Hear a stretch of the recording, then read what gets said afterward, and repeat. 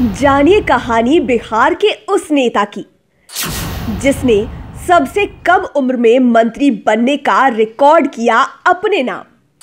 आवाज़ में था इतना वज़न कि पीएम ने सीधा मिलने को बुला लिया। बीजेपी के लिए जीत कर दिखाई सबसे मुश्किल सीट। डीटीसी बस से संसद तक का तय किया सफ़र। अलग धर्म में की शादी तो बनी अमर प्रेम कहानी। पूर्व प्रधानमंत्री अटल बिहारी वाजपेयी आँख मूंद कर करते थे भरोसा। कम उम्र में किया ऐसा काम कि आज बीजेपी के मुस्लिम फेस है। जानिए सब कुछ शाहनवाज हुसैन के बारे में। कहानी ज़िंदगी की में गरिमा भारती के साथ। नमस्कार लाइव सिटीज़ के खास कार्यक्रम कहानी ज़िंदगी की में आपका स्वागत है। मैं गरिमा भारती।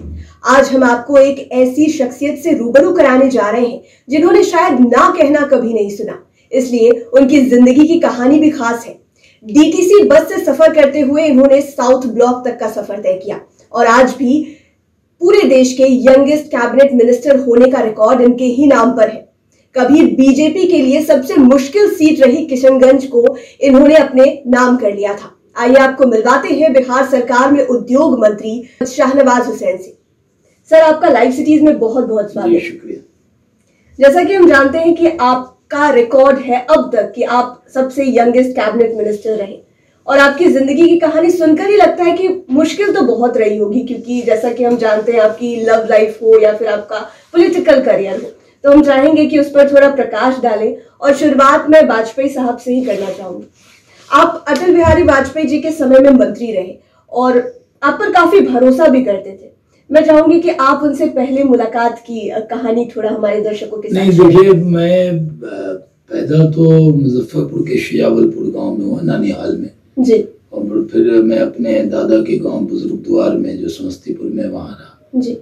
पूरा जो बचपन है वो सुपौल में भी था यानी मैट्रिक तक पढ़ाई अभी हम लोग सुपौल में ही रहते हैं। अच्छा। वही हमारा घर है। फिर इंटर के बाद हम दिल्ली गए। और दिल्ली गए तो वहाँ इलेक्ट्रॉनिक्स इंजीनियरिंग की पढ़ाई की। तभी मेरा ध्यान तो राजनीति में रहा था। और मैं जब मुजफ्फरपुर में था तो चौरासी के लोकसभा के चुनाव के वक्त में जॉर्ज साहब नहीं लड़े थे लेकिन जॉर्ज साहब मुझे बहुत प्यार करते थे। तो उस वक्त मैं थोड़ा बहुत सियासत में आ रहा था तो मेरे फादर टीचर थे। बड़े नाराज़ होते थे कि भाई ये हम लोग मामूली शिक्षक हैं बेटा अगर सही रास्ते पे नहीं चलेगा राजनीति में चला जाएगा तो बड़ी रुकावट हुई। लेकिन मैं जब दिल्ली गया तो मेरी मुलाकात वहाँ आरिफ बेग साहब से हुई। वो डॉक्टर शंकर दयाल शर्मा को सतहत्तर में हरा कर आए थे। बीजेपी के राष्ट्रीय मंत्री थे और पूर्व केंद्रीय राज्य मंत्री थे। उनसे मैं मुतासर होकर बीजेपी में काम कर एट्टी सिक्स में। जी। और एट्टी सिक्स में मुझे भारतीय जनता पार्टी से जुड़ाव हो गया और उनके साथ आता जाता था। एट्टी सेवन में मैंने ऐसे एक दिन फ़ोन लगाया अटल जी का नंबर मिल गया। अच्छा। आजकल तो नेता देखिए कुछ बन जाते हैं तो कितना अपने आप को पूरी बॉडी लैंग्वेज बदल जाती है। लेकिन फ़ोन उठाया बोला उन्होंने कहा जी बोलिए। मैंने कहा मैं सैयद शाहनवाज हुसैन बोल रहा हूँ। अच्छा। तो मेरी आवाज़ थोड़ी सी भारी थी। हाँ। तो उन्होंने कहा जी, जी। बोलिए शाहनवाज साहब। तो मैंने कहा सर मैं आपसे मिलना चाहता हूँ। तो मैं चला गया मिलने दूसरे दिन। मैं तो पैंट शर्ट पहनता था बहुत दुबला पतला था। जी जी। तो वहाँ पहुँचा तो जाके बैठ गया कोई सिक्योरिटी भी उतनी नहीं थी। तो बैठ गया तो उन्होंने अपने पीए से कहा भाई वो शाहनवाज साहब आने वाले हाँ, हाँ। जरा देखो। तो मैंने कहा सर मैं ही हूँ। तो ऐसे देखा अच्छा आप शाह नवाज़ हैं। उनको लगा आवाज़ से कोई बुज़ुर्ग आदमी आए और नाम भी काफ़ी हाँ नाम भी सैयद शाहनवाज हुसैन आए। तो मैंने फिर बात की बहुत प्यार से मिले। अटल जी नेचुरल लीडर थे बनावटी नहीं। बड़ा उनके अंदर अपनापन था। और बीजेपी के बारे में हमारी राय अलग थी क्योंकि परसेप्शन बीजेपी का अलग था। और जब मिले तो इतना स्नेह उन्होंने दिया तो मैं बचपन से उनको जानने लगा। फिर उमा भारती जी युवा मोर्चा की अध्यक्ष बन गई। और उससे पहले नड्डा जी जो हमारे आज राष्ट्रीय अध्यक्ष हैं वो यूथ विंग के अध्यक्ष बने। अच्छा। श्री जगत प्रकाश नड्डा। उन्होंने अपनी टीम में मुझे लिया। फिर वो हिमाचल विधानसभा चुनाव लड़ने चले गए। उसके बाद उमा भारती आ गई। गरिमा भारती हैं हमारी जो गुरु उमा भारती जी। वो जब आई तो हमने कहा इनकी छवि तो बड़ी हिंदुत्ववादी है पता नहीं मुझे टीम में रखेंगी नहीं रखेंगी। हम्म, लेकिन उन्होंने बहुत माना अपना भाई बनाया और उनके साथ मैंने काम किया। और बीजेपी में काम करना मुश्किल था क्योंकि बीजेपी में लोग जब जो मुस्लिम समाज के लोग बीजेपी में आते थे उनको लोग उस वक्त अलग इमेज बनी हुई थी। और अयोध्या का भी आंदोलन चल रहा था। तो उस वक्त मैं युवा मोर्चा में काम करने लगा। फिर छियानवे में जो चौरानवे पंचानवे में उमा भारती जी की टीम में राष्ट्रीय मंत्री बन गया। जम्मू कश्मीर और हिमाचल चंडीगढ़ का प्रभारी बन गया। कुछ दिन बंगाल का प्रभारी रहा। तो सफ़र चलता रहा। फिर एक बार उमा जी ने कहा कि हमें मुस्लिम युवाओं को जोड़ना चाहिए। बीजेपी के साथ। बीजेपी के साथ। क्योंकि पहले तो वो कुछ नाम के लोग होते थे। हम्म, हम्म, बहुत ज़्यादा लोग नहीं आते थे। हम कोई झूठा दावा आपसे नहीं करेंगे। तो हमने शुरू किया कि युवा मुस्लिम सम्मेलन। देश में 28 जगह किए। नौजवानों को बुलाते थे संवाद होता था। और फिर हमने दिल्ली के तालकोटरा इंडोर स्टेडियम में चार दिसंबर उन्नीस को हमने युवा मुस्लिम सम्मेलन किया। पूरा हॉल खचाखच भरा था। इतने मुस्लिम कभी नहीं आए बाहर भी लोग थे पाँच सात हज़ार लोग आ गए। तो सुबह उमा भारती ने उमा भारती ने कहा शाहनवाज छोड़ दे नहीं होगा। लोग नहीं आएँगे बदनामी होगी। अच्छा, फिर प्रमोद महाजन जी मिले वो महामंत्री थे पार्टी के। उन्होंने कहा कि तुमने क्या सम्मेलन रखा है? उद्घाटन करता लाल कृष्ण अडवाणी जी सिकंदर बख्त जी उमा भारती जी समापन करता अटल बिहारी वाजपेयी जी। अभी लोकसभा भंग होने वाली है इतना झगड़ा चल रहा है। वहाँ लोग नहीं आएँगे तो फिर क्या मैसेज जाएगा? छोड़ो कोई नेता को नहीं जाएँगे। फिर मैंने उमा जी से बात की लोग आ जाएँगे। उन्होंने कहा देख ले अगर कैंसिल करना तो अभी भी कर दे। दसों हज़ार लोग आ गए। सारे युवा। युवा है हरियाणा से फिर जो बिहार के लोग थे उनको बुला लिया मैंने। जी जी। वो सम्मेलन में बड़े बड़े कुशाभाऊ ठाकरे थे और बड़े बड़े नेता थे जो मंच पे नहीं बैठ के बाहर बैठ के देख रहे थे। कोई अलग नज़ारा था। और मैंने उस हॉल का नाम रखा शहीद अशफाकुल्ला खान नगर। हमारे यहाँ होता है अब नगर बसा देते हैं उसको। हर द्वार पे लिखा था। एक द्वार पे सामने लिखा था शाहनवाज द्वार। तो अटल जी ने कहा तुमने अपने नाम पे द्वार बना लिया? तो हमने कहा नहीं सर ये जनरल शाहनवाज जो नेताजी सुभाष चंद्र बोस के जनरल थे जो नारा लगता था लाल किले से आई आवाज़ सहगल ढिल्लन और शाहनवाज।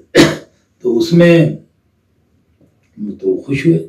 हम लोग को उस वक्त में मौका नहीं मिलता था बड़े नेता के सामने बोलने का क्योंकि वो जब आते थे तो बड़े बड़े लोग बोलते थे। जी। लेकिन मंच का संचालन मेरे पास था। तो मैंने सोचा कि अटल जी के सामने कर दिया जाए तकरीर। हाँ तो मैंने कर दिया। छाप छोड़ दी हाँ तो बस मैंने जो तकरीर किया और उससे वो बहुत मुतासर हो गए। उमा जी से कहा भाई ये तो अच्छा बोलता है इसको लड़वाओ लोकसभा। तो मैं जब लौट के ऑफ़िस गया शाम में तो जी किशन रेड्डी जो भी मंत्री हैं जी। वो महामंत्री थे और मैं मंत्री था। उमा भारती जी अध्यक्ष थी।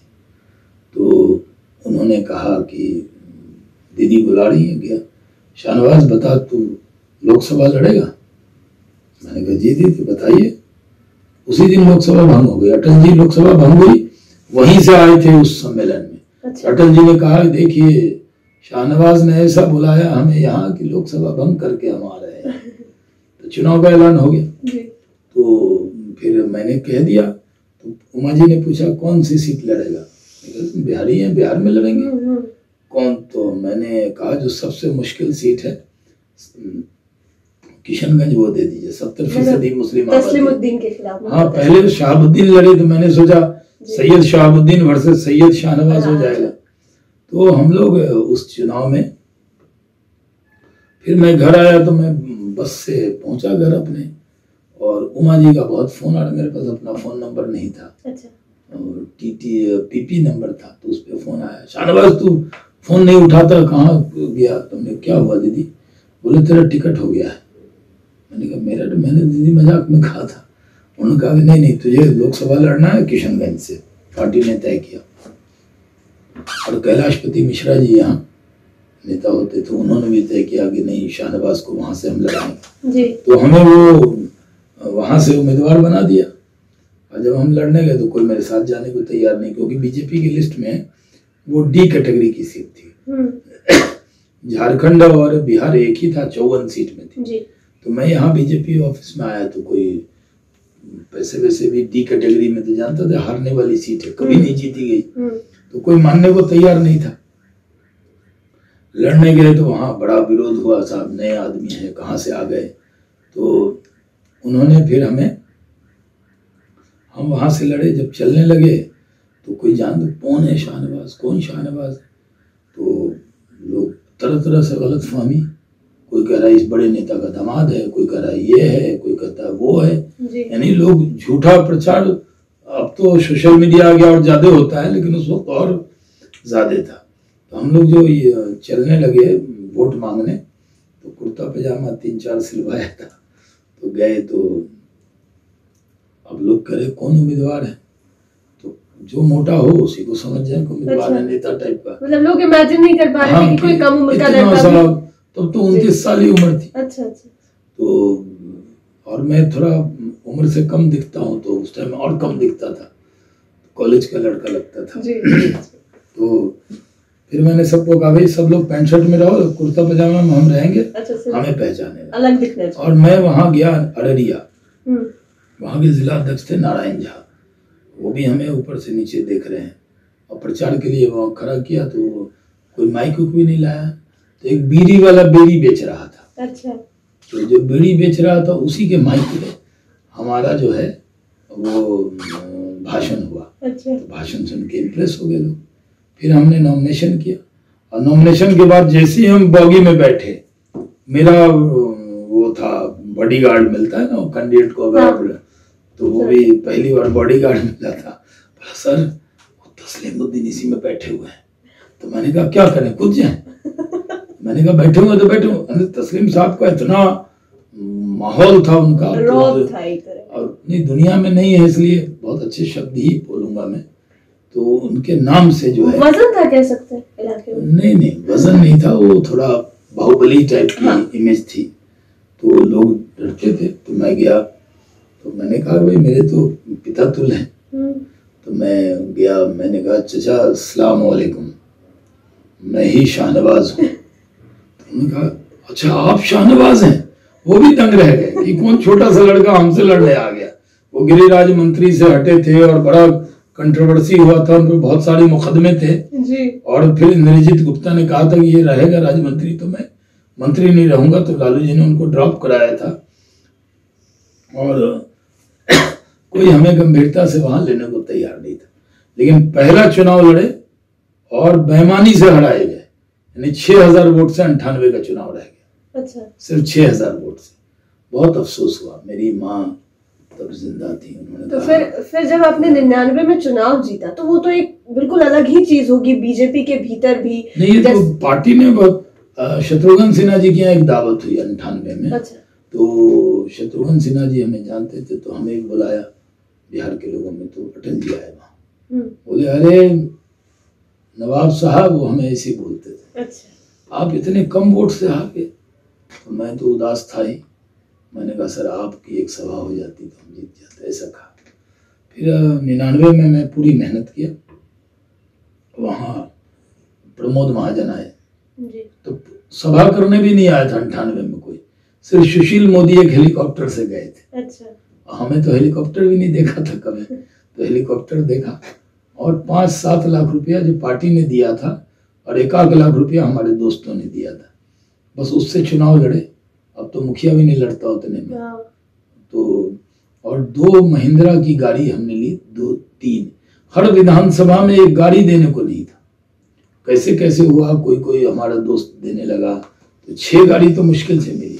तो एक गाड़ी मिली वो महिंद्रा की जो कमांडर थी उसके ऊपर हुड पे खड़े होकर भाषण देते थे। लोग कहते थे यहाँ पे सख्त मत बोलिए बैरगाछी चौक है। तो वहाँ पे हम भाषण दे रहे थे। कभी वहाँ दंगा हुआ था और तो वहाँ मैंने जब भाषण दिया तो लोग कहते थे थोड़ा नरम बोलिए यहाँ पे बड़ा तस्लीम साहब का माहौल अलग है हम लोग को घर भी जाना है। जी। तो हमने कहा अरे चिंता मत करो। तो लोग समझते थे इतना ताकत से बोलता है। उस इलाके में तस्लीम साहब का नाम था या पप्पू यादव का नाम था? पूर्णिया अररिया किशनगंज के इलाके में। सीमांचल में। तो हम लड़े और उससे अंठानवे में मेरी माँ ज़िंदा थी तो वो थोड़े बहुत से मैं हारा तो बहुत घर में दुख था। लेकिन उन्होंने कहा था कि अगली बार ये जीते लड़ेगा भी ये जीतेगा और मिनिस्टर बनेगा लेकिन मैं नहीं रहूँगी। वो बहुत बुज़ुर्ग थी। हम लोग एक सुन्नी सैयद घराने में पैदा हुए। जी। और वो बहुत इबादत वाली थी। और उनका इंतकाल नमाज़ में सजदे में हो गया। मतलब सजदा में सर था उसी में रूह प्रवास कर गई। तो मेरा यकीन था कि अम्मी ने कहा है मैं तो चुनाव जीतूँगी यानी इतना पक्का यकीन था मतलब क्योंकि मैं माँ को बहुत मानता था। जी। तो मैं जीत गया चुनाव। जीत गया तो कैलाशपति मिश्रा जी मुझे बहुत मानते थे। उन्होंने बुलाया बोला देखो कहीं जाना नहीं है। यहीं रहना दो तीन दिन।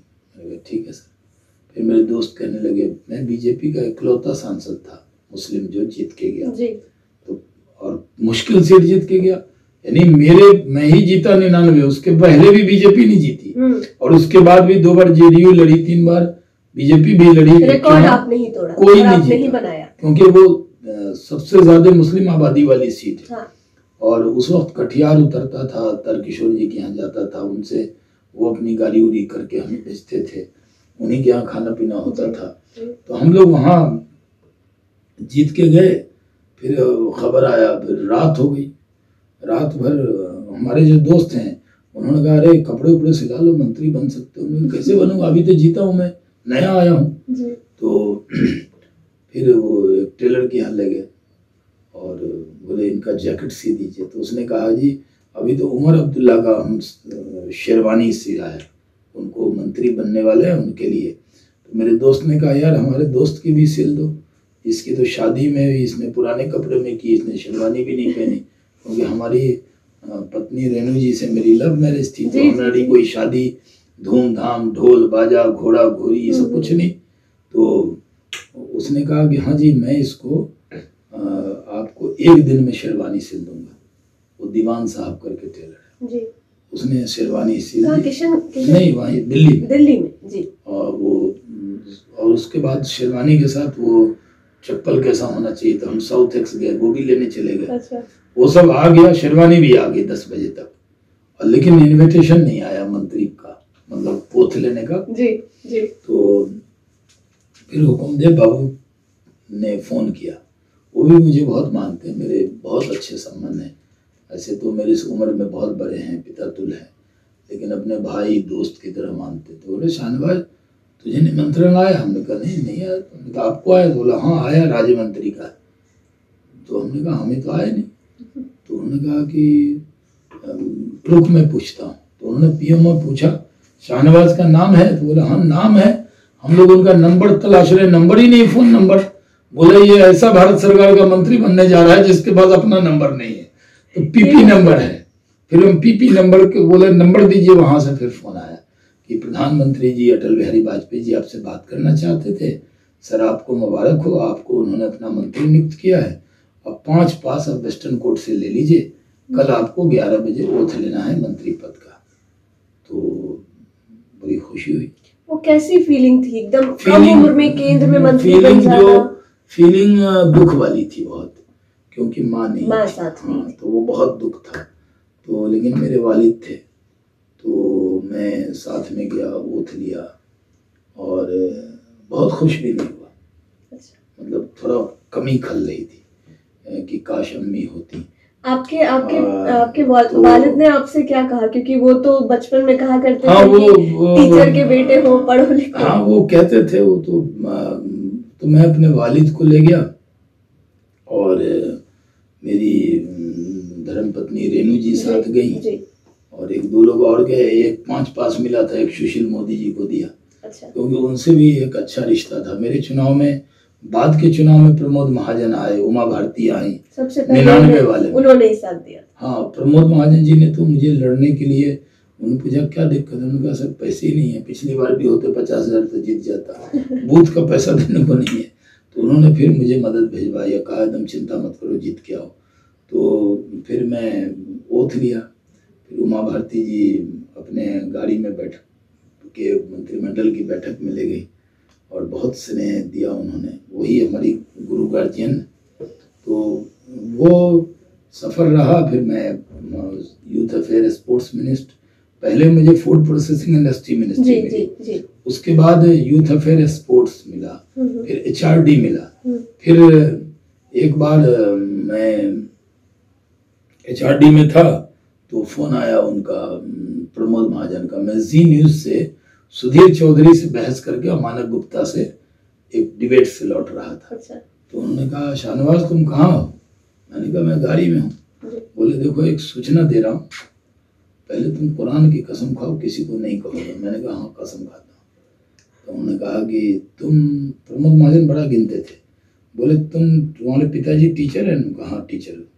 तो तुम एक राजा के बेटे का रिकॉर्ड तोड़ने जा रहे हो डॉक्टर महाराजा हरि सिंह का बेटा डॉक्टर करण सिंह छत्तीस साल की उम्र में भारत सरकार के कैबिनेट मंत्री बने और एक टीचर का बेटा बत्तीस साल की उम्र में हिंदुस्तान की कैबिनेट का सदस्य बनेगा। सबसे कम कम तब मैं कोयला राज्य मंत्री था इंडिपेंडेंट चार्ज था मेरे पास।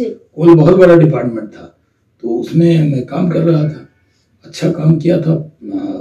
वाजपेयी जी बहुत खुश थे मेरे से बहुत ईमानदारी से काम किया तो मैं आया। उन्होंने कहा, तुम रेनू से भी मत कहना। अब मुझे खुशी उस दिन, कैबिनेट मिनिस्टर बनना, ये तो मैंने ख्वाबो ख्याल में नहीं सोचा था, भारत सरकार का इस उम्र में। तो मैं गया तो मैंने रेनू से जाके पूछा, और क्या हाल है? तो मैंने कहा, क्या हो गया? आप तो कभी ऐसे नहीं बात करते थे। फिर मुझे उस दिन नींद नहीं आ रही थी। सोच रहा था कि कैसे होगा। दो, तीसरे दिन और था।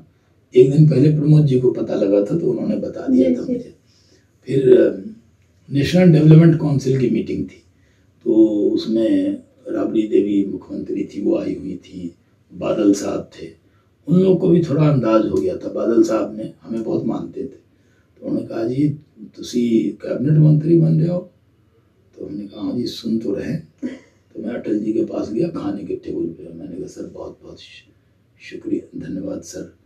तो बोले किस बात का धन्यवाद? मैंने सोचा पता नहीं तो गलत सूचना तो नहीं मेरे पास। मैंने कहा नहीं नहीं नहीं दिल बैठ गया होगा उस नहीं मैंने तुरंत बात पलट दिया। मैंने कहा सर आप मुझे इतना प्यार करते हैं इसका धन्यवाद। ये कहा आप इतना ख्याल रखते मैं तुरंत जान छुड़ाया।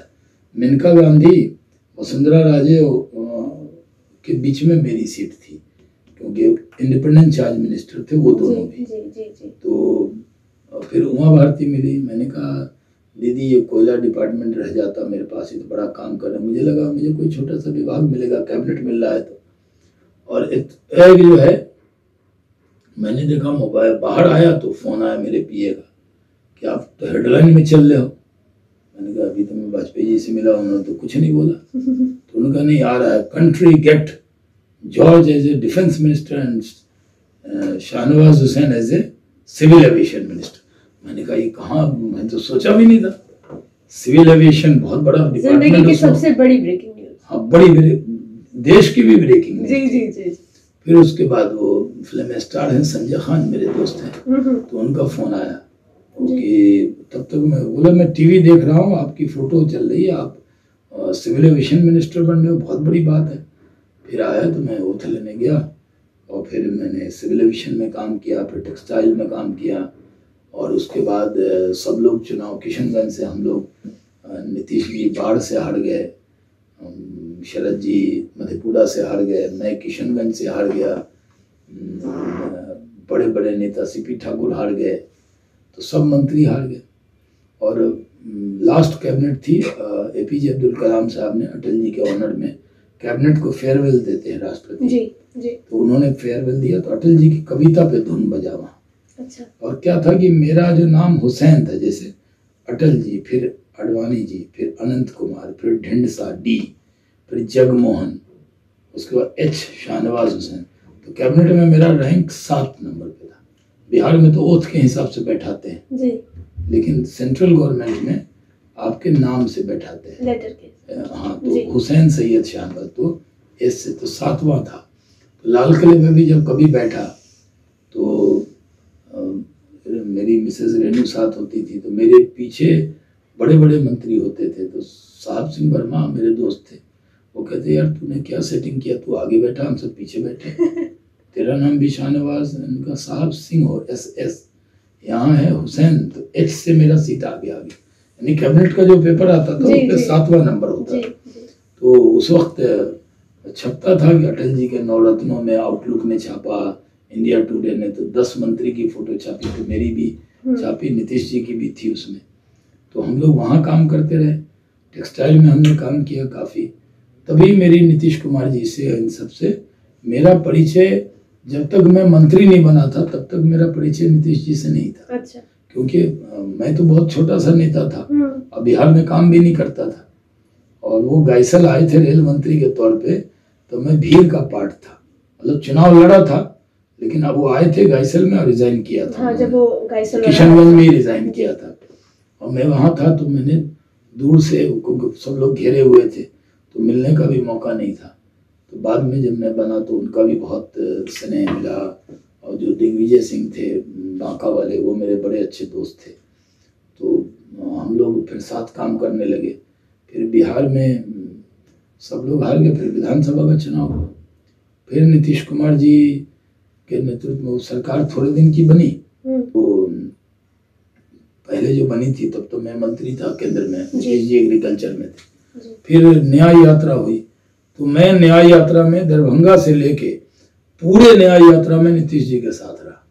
और उस वक्त एनडीए के तौर पर हम जाते थे फिर नीतीश जी ने शरद यादव जी के साथ मुझे एक हेलीकॉप्टर दे दिया। पूरे बिहार में मैं एनडीए का उम्मीदवार था बीजेपी का। कम और जेडीयू के ज़्यादा होते थे नहीं? हाँ। चार सभा पाँच होती थी तो तीन जेडीयू की। हम्म, शरद जी होते थे वो राष्ट्रीय अध्यक्ष थे तब। जी। तो मैं हर सीट पे जाता था। फिर बिहार में जब सरकार बन गई तो सुशील मोदी जी डिप्टी सीएम बन गए नीतीश जी सीएम बन गए। तो एक नालंदा के एमपी थे नीतीश जी तो वहाँ बाई इलेक्शन हुआ। और एक भागलपुर में इलेक्शन हुआ। जी। फिर भागलपुर में मेरा चुनाव का नाम आया। अब भागलपुर ऐसी जगह जहाँ कभी हिंदू मुस्लिम दंगा हुआ। बिल्कुल बिल्कुल। और दंगे की जाँच की घोषणा नीतीश कुमार जी ने कर दी। हम्म, वहाँ पे माहौल एकदम गर्म था। और एक बार मेरी पार्टी में बड़ा विवाद था इस विषय पे कि जो हिंदू मुस्लिम तनाव की जगह है वहाँ हम अपने एक्स कैबिनेट। मिनिस्टर और शाहनवाज हुसैन मुस्लिम कैंडिडेट लड़ाए नहीं लड़ाए। तो सुशील मोदी जी ने उसमें बड़ा रोल अदा किया और फिर पार्टी ने हमें तय किया कि हम भागलपुर लड़ेंगे। जब भागलपुर लड़ने गए तो वहाँ पहुँचे तो लोगों को सरप्राइज़ हुआ कि शाहनवाज लड़ने आए। और शकुनी चौधरी जी से हमारा मुकाबला हुआ। सम्राट चौधरी जी के पिता। जी। जी। और सम्राट चौधरी मेरे पहले से दो जब मैं मंत्री था तो राज्य में मंत्री थे हाँ। स्टेट में। तो मैं आता था तो उनके यहाँ खाना वाना खाता अच्छा। पुराना संबंध। में। नहीं यहाँ यहाँ पटना में पटना। मैं भारत सरकार मंत्री था तो स्टेट गवर्नमेंट अलग थी। तो न वो गाड़ी देती थी न ठीक से गाड़ी दे रही तो रास्ते में गाड़ी बंद हो गई सिक्योरिटी नहीं दे रहे। लालू जी का वो राज था। फिर लालू जी के यहाँ मैं सिविल एविएशन में जब आया तब भी लालू जी राबड़ी जी से कटसी कॉल में मुख्यमंत्री के यहाँ जाना था। गए लेकिन लालू जी मिलते अच्छे से।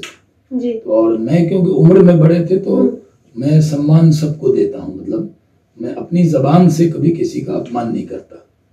अगर सामने वाला मर्यादा तोड़ दे तभी तब भी मैं कोशिश करता हूँ मैं न तोड़ूं। तब हम लोग लगे रहे। फिर लालू जी जैसे जैसे ताड़ापुर का चुनाव हुआ उपचुनाव तो आप जानते हैं दोनों पार्टी जम जाती है। बड़ी लड़ाई हुई। फिर हम भागलपुर से करीब संतावन हज़ार वोट से शकुनी चौधरी जी के सामने जीते। फिर दो बार एमपी भागलपुर से रहे। चौदह में हमारा चुनाव में हम नौ दस दिन बाहर प्रचार करते रहे। अच्छा। हम बक्सर गए, आरा गए, गोड्डा गए, छपरा गए, नागपुर गए, गोपीनाथ मुंडे के यहाँ बीड गए। तो नौ दिन हो गया, फिर हम ओवर कॉन्फिडेंस में सिर्फ़ आठ हज़ार वोट से भागलपुर से रह गए। तो सात साल तक हम पार्टी के प्रवक्ता के तौर पर काम करते रहे। हमने कभी पार्टी से कुछ नहीं मांगा। इस बार एक बैग पंद्रह में हमें हुक्म हुआ था कि विधानसभा लड़िए। तो मैंने उस वक्त मेरा मन नहीं माना। तो हमारे नेतृत्व के लोग बड़े नाराज़ हुए कि भाई अच्छा, बात क्योंकि मैं केंद्रीय चुनाव समिति का ही सदस्य हूँ जहाँ सब तय होता है सामने का। तो इस बार भी हमें लड़ाने की बात हुई फिर हमें एक मैं नहीं लड़ पाया मतलब मैंने थोड़ा रास्ता निकाला। लेकिन एक बार मैं भागलपुर में था हमारे पार्टी प्रेसिडेंट का फ़ोन आया कि आप प्रधानमंत्री जी का आदेश है पार्टी का आदेश है आपको एमएलसी बनना है फिर आया कि आपको दो मंत्री बनना है। तो हम यहाँ आ गए। अब यहाँ उद्योग लगाने में लगे हैं। यहाँ बिहार के लोगों को रोज़गार कैसे मिले? उद्योग कैसे हो? इस काम में लगे उद्योग और रोज़गार की बात हो रही है और आपका लगाव उधर कोसी सीमांचल से काफ़ी रहा है। तो मैं ये पूछना चाहती हूँ कि वहाँ के लोग ज़्यादा पलायन करते हैं और मजबूरी भी है एक तरह की तो उसको टैकल करने के लिए इस वक्त बिहार सरकार कैसे देखिए वो बहुत इलाका पिछड़ा हुआ है। जी। क्योंकि पहले तो गंगा जी पे ही कितने पुल थे। वहाँ जाना कितना मुश्किल था। कटिहार आप ट्रेन से ही जा सकते थे। हाँ। और घंटों लग जाता था सुपौल सहरसा मधेपुरा अररिया किशनगंज कटिहार ये सब जाने में। नीतीश जी ने उसको बहुत अच्छा किया। रोड इंफ्रास्ट्रक्चर बना दिया है।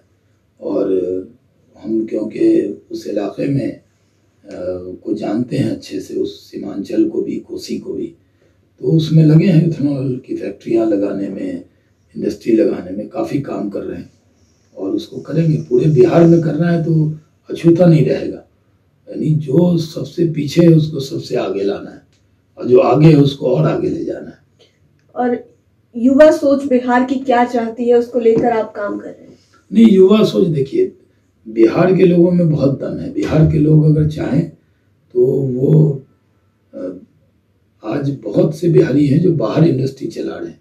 अगर वो यहाँ करें तो बहुत ज़्यादा अच्छा होगा। और बहुत सारे बिहारी हैं जो उन इंडस्ट्रीज़ की जान है। वो ना रहे तो हाँ। वो शायद बंद हो जाए। बड़ी बड़ी कंपनी में जो आप जाएँगे तो उसमें बिहारी लोग हैं। बिल्कुल। उसी तरह जो स्टार्टअप है उसमें बहुत बिहारी हैं।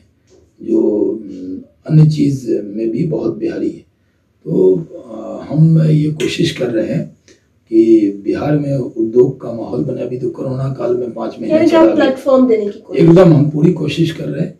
आज करीब अड़तीस हज़ार करोड़ का इन्वेस्टमेंट का प्रपोजल आया है। बिहार आगे बढ़ रहा है। तो हम बिहार को कैसे आगे बढ़ाएँ इस पे काम में लगे हुए हैं। और मुझे शुभ इस बात का बहुत आत्मविश्वास है कि हम बिहार में उद्योग और रोज़गार का माहौल बनाया है और आगे भी उस पर काम करें। आपने इंटरव्यू के दौरान कई दफे अपनी धर्मपत्नी का नाम लिया रेणु जी का।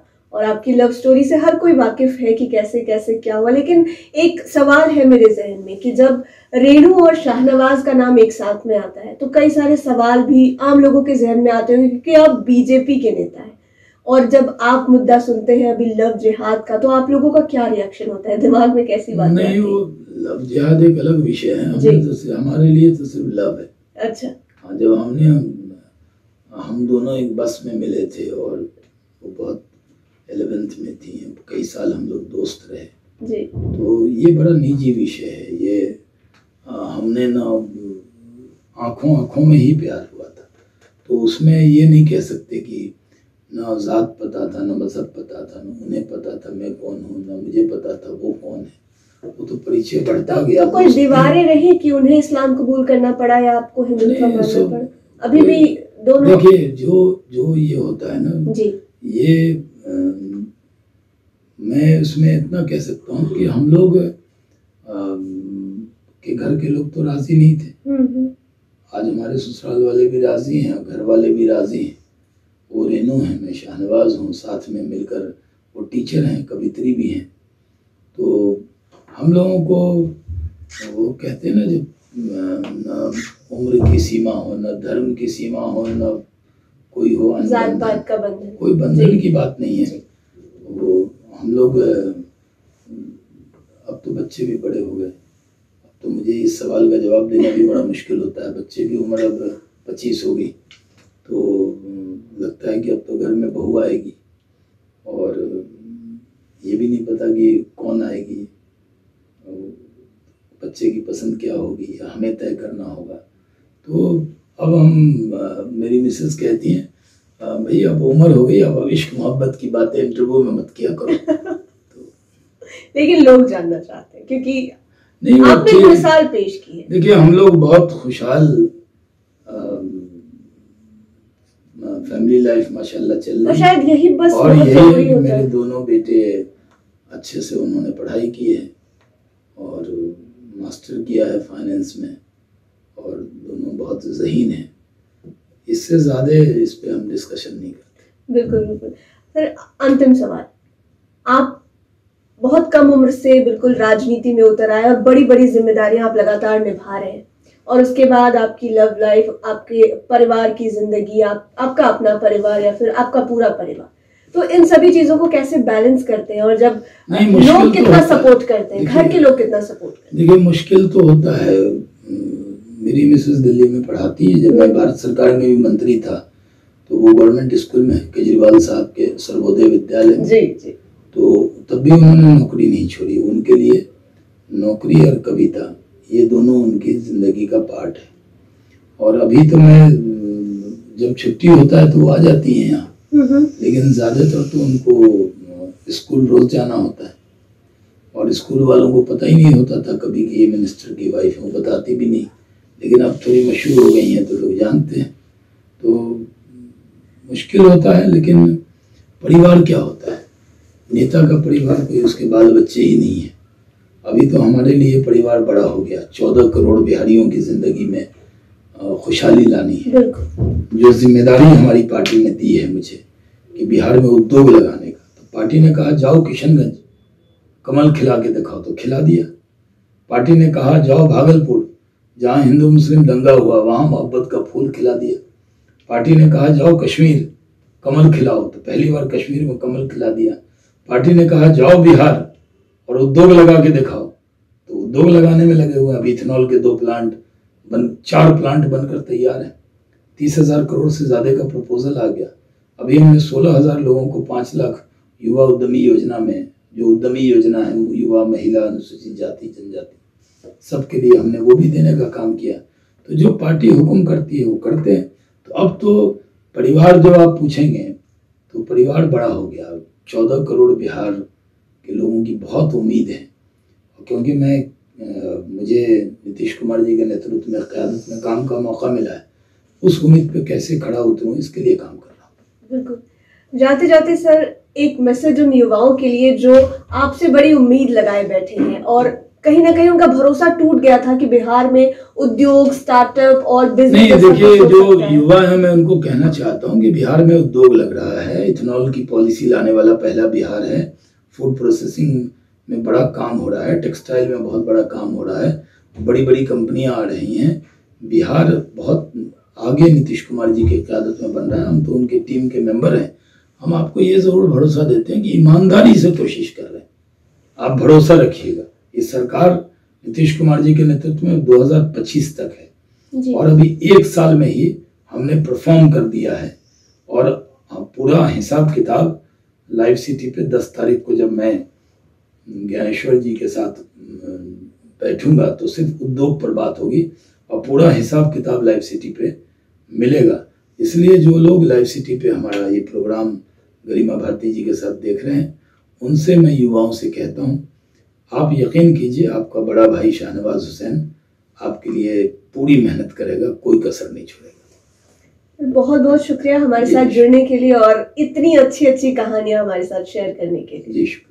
तो आपने बिहार सरकार में मंत्री सैयद शाहनवाज हुसैन को सुना, उनकी ज़िंदगी की कहानी जानी काफ़ी इंटरेस्टिंग रही इनकी ज़िंदगी की कैसे एक छोटे से नेता से कैबिनेट मिनिस्टर तक का सफ़र इतनी कम उम्र में तय किया और बड़ी बड़ी जिम्मेदारियाँ निभाई, मुश्किल चुनौतियों को पार किया और आज बिहार में उद्योग लगाने का सपना ये लाखों लोगों को दिखा रहे हैं और दावा कर रहे हैं कि ये जल्द पूरा भी होगा। लाइव सिटीज़ के साथ आप बने रहें, इसी तरह की कहानियाँ हम आप तक पहुंचाते रहेंगे। हमारे चैनल को सब्सक्राइब कर लें ये वीडियो फेसबुक पर देख रहे हैं तो पेज को लाइक करें, साथ ही हमें ट्विटर पर ज़रूर फॉलो करें। धन्यवाद।